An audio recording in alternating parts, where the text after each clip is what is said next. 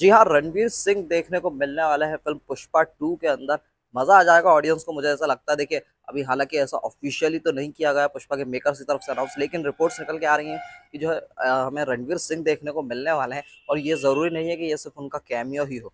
उनका कैरेक्टर जो है, पुलिस वाले का कैरेक्टर देखने को मिलने वाला। हम सभी जानते हैं जो विलन है, फहद फाजिल पुष्पा का, पूरी इसके फ़र्स्ट वाली की और सेकंड की भी जो मेन विलन है, वो हम सभी जानते हैं कि फहद फाजिल है वो खुद भी पुलिस का कैरेक्टर ही कर रहा है, वो भंवर सिंह शेखावत वाला। तो उसी प्रकार से एक और पुलिस वाले के रूप में देखने को मिलने वाले रणवीर सिंह। अब ये हो सकता है कि ये सिर्फ़ कैमियो ही निकले, पुष्पा टू के अंदर ये भी हो सकता है चांसेस ये भी हैं फ़िल्म के अंदर के फ़िल्म पुष्पा टू में ये दिखाने के बाद इस कैरेक्टर को ही कंटिन्यू किया जाए, क्योंकि कहीं ना कहीं पहले हम सभी जानते हैं कि पुष्पा वन और पुष्पा टू ये दो ही फ़िल्मों के बनने के वो थे, आसार।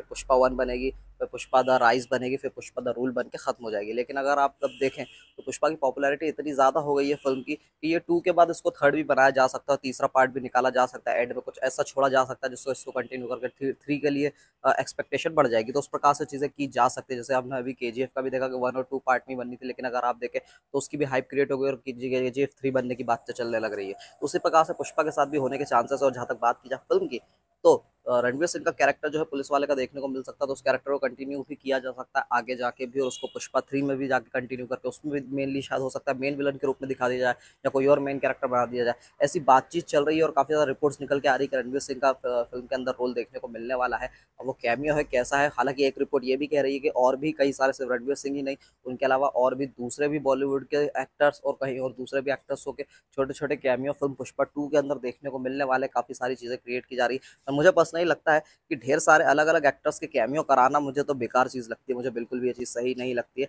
आप एक आध कैरेक्टर का कैमियो दिखा दे तो ठीक लगता है, चीज़ें सही लगती है। हमने तो देखा था कि समानता का आइटम नंबर उसके अंदर डाल दिया गया था वो अंटावा तो काफ़ी ज़्यादा चल गया था तो वो गाने के अंदर ही सॉन्ग के अंदर ही तो बढ़िया लगा था। बाकी फ़िल्म पूरी तरह से अलग चल रही थी। उसी प्रकार से मुझे लगता है कैमियो दिखाना है तो एक का एक्टर का ही दिखाना चाहिए, उससे ज़्यादा दिखाना मुझे लगता है कि उतना कुछ बेहतर नहीं होता और ऑडियंस को भी ऐसा कुछ खास ऐसा मज़ा आता नहीं है। आप अलग अलग एक्टर्स की जो ऑडियंस उनको घेरने के लिए ज़रूर ये कर लेते हो कि भाई सलमान खान का किसी ने कैमियो करा लिया तो सलमान की ऑडियंस आ गई, शाहरुख का करा लिया, शाहरुख की ऑडियंस आ गई। उस प्रकार से अलग अलग चीज़ें कराने की कोशिश की जा सकती है, जैसा कि हम जवान में भी देख रहे हैं। लेकिन मुझे नहीं लगता कि ये सारी चीज़ें कराना इतना सही है, इतने ज़्यादा कैमियो होना। हाँ हालाँकि रणवीर सिंह का नाम सबसे ज़्यादा अभी चलने लग रहा है रिपोर्ट से निकल के आ रही है कि रणवीर सिंह भी कैमियो करते हुए देखने को मिलने वाले तो आने वाला वक्त बताएगा कन्फर्मेशन के साथ जब हम पुष्पा के बेकर से तब से मालूम चलेगा कि रणवीर सिंह फ़िल्म के अंदर नज़र आएँगे या नहीं।